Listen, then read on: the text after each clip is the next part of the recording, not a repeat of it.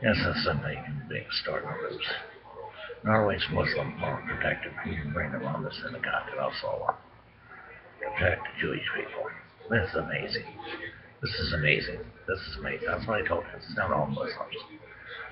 Thousand Muslims from Norway after the killing in Denmark or to protect the human ring around the synagogue and also the wall. It's amazing. It's amazing what people will do. People that are real people. Not ready to kill, slaughter, and butcher. It's amazing what real people will do. It's amazing what the real people will do. It's amazing. Is something you big start with. It's a piece of history. Muslims protecting Jewish people. There's there's news for the world to know. And we're all like we're all human beings. We all have to live on this earth. They formed a human ring around the Oslo human synagogue so the Jewish people could go in. It's absolutely amazing news.